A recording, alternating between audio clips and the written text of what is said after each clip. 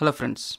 As I had promised in my previous video that I will be showing you how you can send MQTT packets through our Arduino board using the SIM900 module to the Adafruit IO dashboard. So uh, let us see how we can do that today. First thing is you need to watch my previous tutorials because without uh, watching these previous tutorials you will not be able to understand what I am doing in this video. So first thing is you need to understand how the MQTT packets are formed. So you need to watch this tutorial which, in which I show you how you can form the MQTT packets. And then you need to watch uh, the Adafruit IO tutorial wherein I show you how you can get started with the dashboard and uh, how you can send MQTT uh, messages to the server and how you can subscribe to the feeds.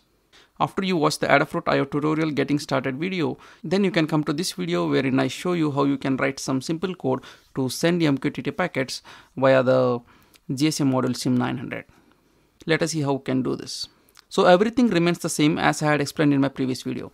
The code, the functions, the connect packet, the subscribe packet and the publish packet, everything remain the same except that we change the URL of the server uh, wherein we change the URL from cloudmqtt.com to io.adafruit.com and we change the port to 1883 and we change the topic to the feed uh, which we have got from the Adafruit IO dashboard.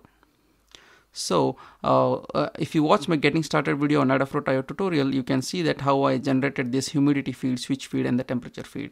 So we can get the URL of these feeds uh, and we can uh, paste that in this code here. So your feeds become your topics and the protocol name I have changed from MQISDP to MQTT. The username for the Adafruit IO dashboard MQTT connect packet is the username shown in the URL here. And the username which is supposed to be used in the MQTT connect packet for Adafruit IO server is Ravi Y Pujar for my case because I had registered using that username. And the password is the AIO key itself and everything else remains the same. So now let us see how this code works. Basically what I'm doing is I am just creating a TCP connection from the SIM900 module to the Adafruit IO server and after that I am sending the connect packet and waiting for some time and then I'm sending the publish packet every 5 seconds and I'm sending a value which is incremented every 5 seconds in the counter variable. So now let us see how this works. I will program the code and I will also restart the module.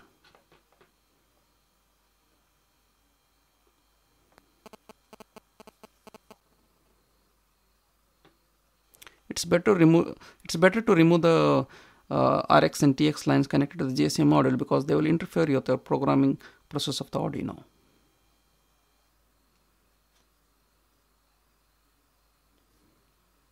Okay, now you can connect it back and we'll see the data on the serial port monitor.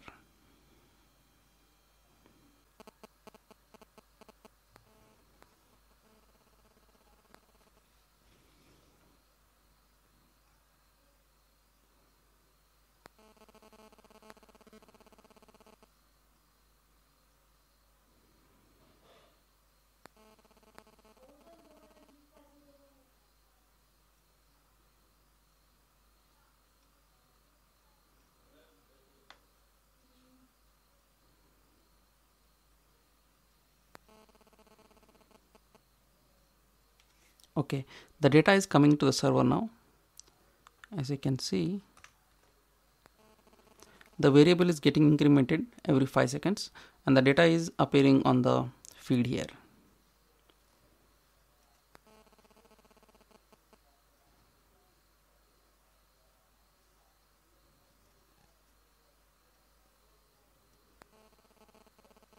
Okay so this is how we can send the MQTT publish packet to the Adafruit IO dashboard.